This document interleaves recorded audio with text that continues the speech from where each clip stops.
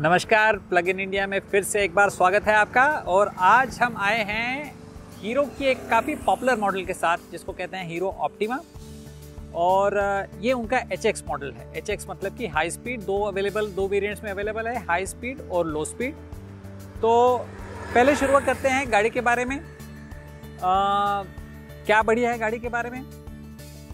Aesthetics यानी कि दिखने में गाड़ी में काफ़ी चेंजेस हुए हैं कलर्स नए लॉन्च हुए हैं।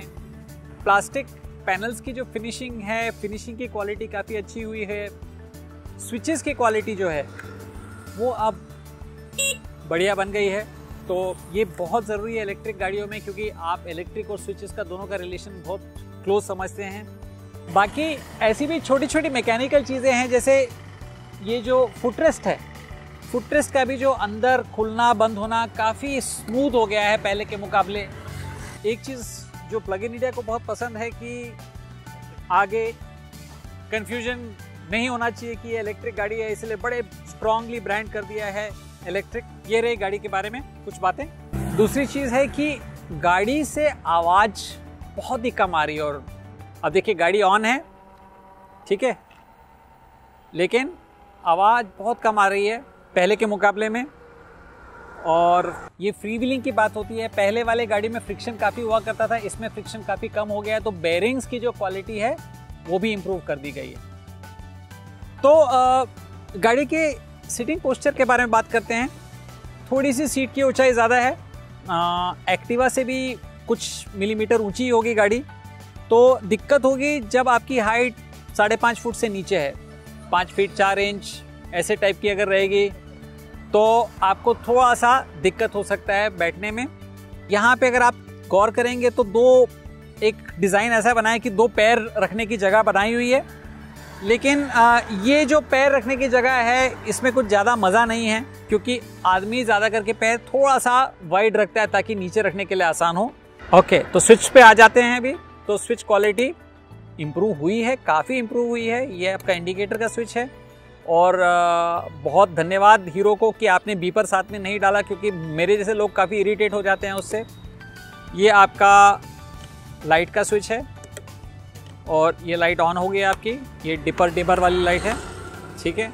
और नीचे एक यूएसबी पोर्ट दिया हुआ है आपके फ़ोन को चार्जिंग करने के लिए। और शायद पहली बार मैं देख रहा हूँ कि हीरो की कोई हाई स्पीड गाड़ी है जिसमें आपके पास मोड सिलेक्शन के लिए कुछ भी नहीं है। जो कि मेरे हिसाब से बहुत बढ़िया चीज़ है। मतलब आपको दिमाग लगाने की ज़रूरत ही नहीं है, गाड़ी हमेशा इको मोड में ही चलती है ये। ये एलसीडी डिस्प्ले देख रहे हैं हम लोग अभी इस समय। तो यहाँ पे ऊपर आपको दिख रहा है स्पीड का इंडिकेशन नीचे ओडोमीटर है। और यहाँ दाहिनी तरफ़ में आपके पास में दिख रहा है एक बैटरी का बार, जो कि दिखा रहा है कि बैटरी कितनी बाकी है। और साथ में ऊपर में एक वोल्टेज भी दिया हुआ है। अभी इस समय बैटरी फॉर एग्ज़ाम्पल बावन वोल्ट के ऊपर में चार्जिंग में लगी हुई है। तो स्टिकर आपको ये बता रहा है कि जब बैटरी की वोल्टेज सैंतालीस वोल्ट के नीचे चले जाए तो उस समय आपको चार्ज करना ज़रूरी है क्योंकि सिर्फ़ 10 किलोमीटर बाकी रह जाएँगे। तो एक वार्निंग आ जाती है और फिर हम लोग ने आपको दिखाएँगे एक और शॉट में कि ये जो आ, बैटरी का बार है वो ब्लिंक होना शुरू हो जाता है। तो उसका मतलब आपको एक सिग्नल मिलना शुरू होता है कि बैटरी खत्म हो गई है। ये फीचर हमें बहुत ही पसंद आया और हीरो को, इस फीचर को बाकी सारे मॉडल्स में भी इंट्रोड्यूस करना चाहिए। जहाँ तक गाड़ी का रेंज का सवाल उठता है, आप निश्चिंत रहिए कि इस गाड़ी को कम से कम आपको 100 किलोमीटर तो रेंज मिलना ही मिलना है डबल बैटरी वाले मॉडल में। इसमें सिंगल बैटरी वाला मॉडल भी मिल रहा है, लेकिन डबल बैटरी के मॉडल में आपको कम से कम 100 किलोमीटर रेंज मिलेगा ही मिलेगा। तो अगर आपका व्यवसाय है जिसमें आपको कुछ डिलीवरी करनी है और दिन के आपके 60-70 किलोमीटर रनिंग हो रहा है तो ये मॉडल आपके लिए बढ़िया रहेगा। आ, अब रेंज बढ़ाने के लिए कंपनी ने काफ़ी सारी चीज़ें की हुई हैं छोटी छोटी जो हमने ध्यान से देखी हैं। तो सबसे पहले तो टॉप स्पीड के बारे में बात करते हैं। टॉप स्पीड को रफली 45 के आसपास लिमिट किया गया है क्योंकि हमें पता है कि जितनी ज़्यादा आपकी स्पीड जाती है उतना रेंज कम हो जाता है। तो उस वजह से इस गाड़ी में आपको टॉप स्पीड कम होने की वजह से भी रेंज बढ़ जाती है। जैसे कि कहा बैरिंग के फ्रिक्शन कम हो गए हैं बैटरी का साइज़ बढ़ा दिया गया है। तो ये सारी चीज़ों से आपका रेंज आपको मिल रहा है। और एक आध छोटी चीज़ ऐसी भी है कि बैटरी का जो डब्बा है, वो पहले स्टील में बनाया करता था, बड़ा वाला, बाहर वाला जो डब्बा है, आजकल वो एफआरपी में बनाना शुरू कर दिया है तो उससे भी फ़र्क पड़ रहा है रेंज में, थोड़ा सा ही। तो अब आ जाते हैं बैटरी के ऊपर में। जैसे कि आपको कहा था कि इस गाड़ी की अनोखी बात यह है कि इसमें दो दो बैटरियाँ लगी हुई हैं। तो ये आपकी बैटरी बी वन आपकी दूसरी बैटरी लगी है। ऊपर एक प्लास्टिक का कवर लगा हुआ है ताकि आप कोई सामान अगर उसके अंदर ले जाना चाहते हो तो बैटरी के ऊपर ना लगे। गाड़ी के साथ में आपको दो चार्जर मिल रहे हैं। दोनों बैटरी आप पैरेलल में चार्ज कर सकते हैं। अगर आपने दोनों चार्जर डिक्की के अंदर रख दिए तो आपकी डिक्की की जगह ख़त्म। ठीक है?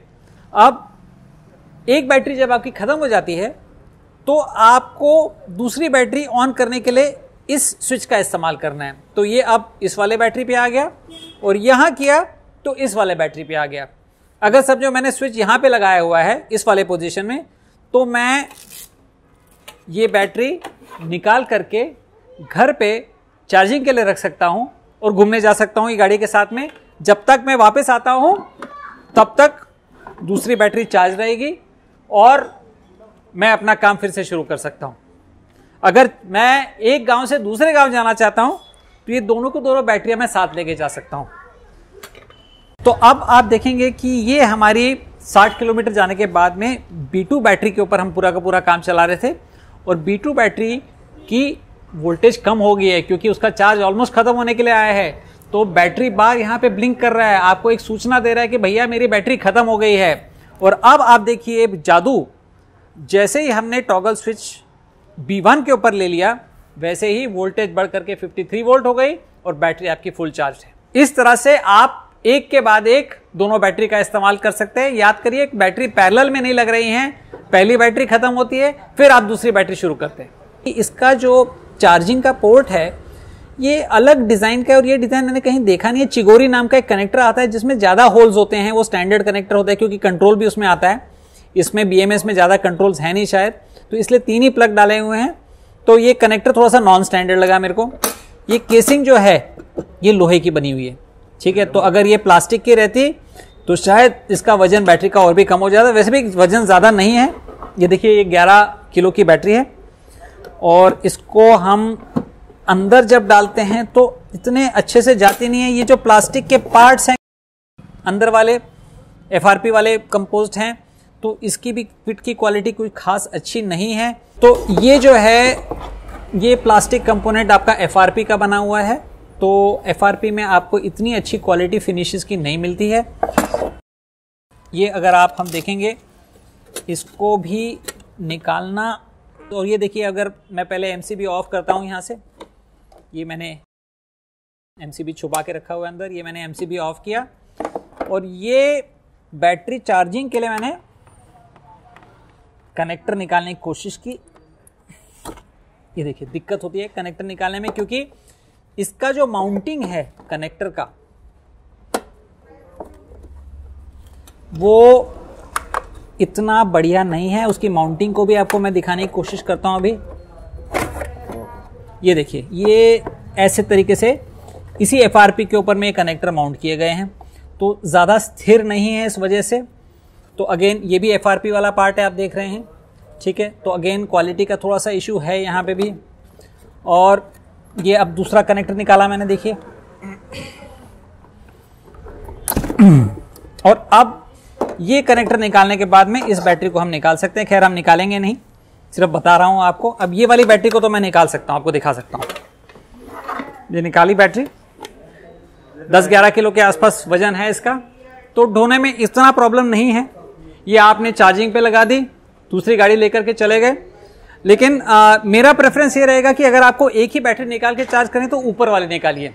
थोड़ा सा गाड़ी का सेंटर ऑफ़ ग्रेविटी नीचे चले जाएगा जिसकी वजह से स्टेबिलिटी ज़्यादा आएगी गाड़ी में। तो गाड़ी का परफॉर्मेंस ओवरटेकिंग में ठीक ठाक है अगर आप के सामने कोई थ्री व्हीलर चल रहा है जो 30-35 के स्पीड पे जा रहा है तो आपके पास इतना जिप है कि गाड़ी ऊपर चढ़ जाती है। डबल सीट में स्पीड कम हो जाती है। चढ़ाई पे आप समझ लो 30 के ऊपर जाना थोड़ा सा मुश्किल हो जाता है दो लोग अगर एक साथ रहेंगे तो। बाकी सिंगल स्पीड का आ, एक फ़ायदा नुकसान भी है। कई कई बार हम लोग अगर लो स्पीड पे चला रहे होते हैं तो हम स्विच बदल करके थोड़ा सा एक गाड़ी का एक बूस्ट में डाल देते हैं ओवरटेकिंग के टाइम फ़ायदा होता है। तो जब आपके पास वो ऑप्शन नहीं रहता है तो आपको एक ही स्पीड पे चलना पड़ता है। लेकिन मेरे हिसाब से दोनों का फ़ायदा नुकसान देख के मुझे सिंगल स्पीड ही ज़्यादा पसंद आया है।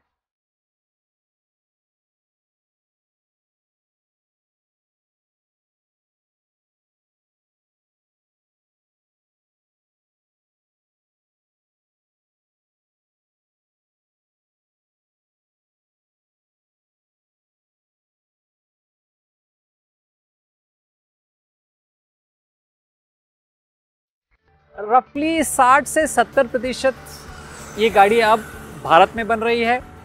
आ, सुनने में आया है कि इसका जो बैटरी की असेंबली है अभी हीरो ने खुद लुधियाना के अपने फैक्ट्री में करना शुरू कर दिया है।